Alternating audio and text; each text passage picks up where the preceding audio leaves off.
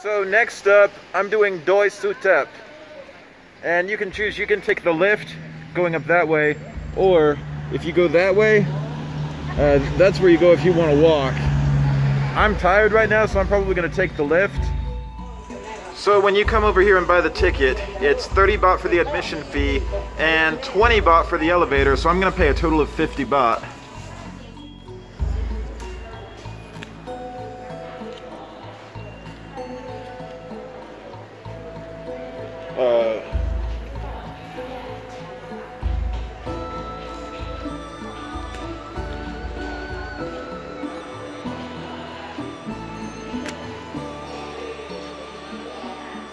I guess this is the elevator that you take up.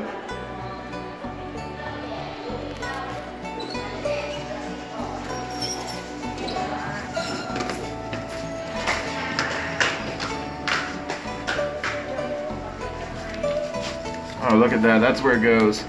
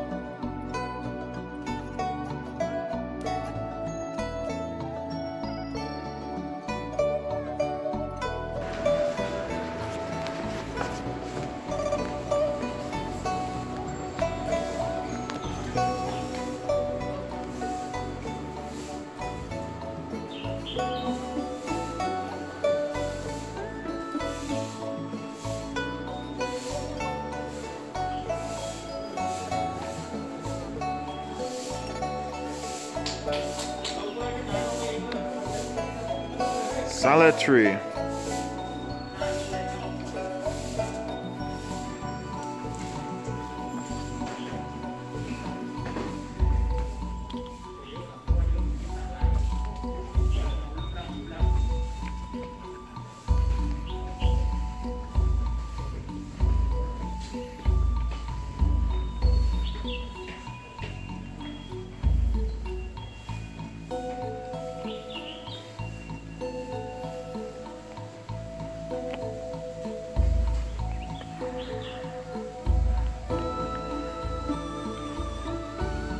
Oh, there's the temple. There's Doi Suthep right over there. I'm gonna look at what's over here first.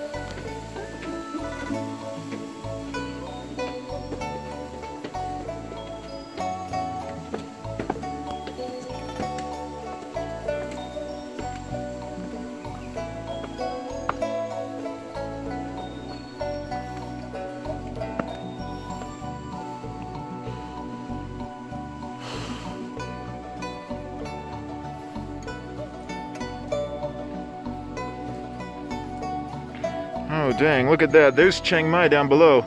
Oh look, I can see the old city. If you guys see that square over there, that is old city. Yeah, there's Maya. I can see where that is. Yep, and there's the old city. So came all the way over here on a motorbike today. I think I can see exactly where I'm staying.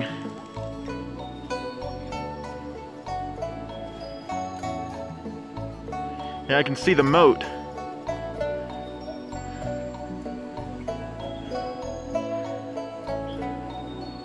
There's some of the mountains over there that border Lao.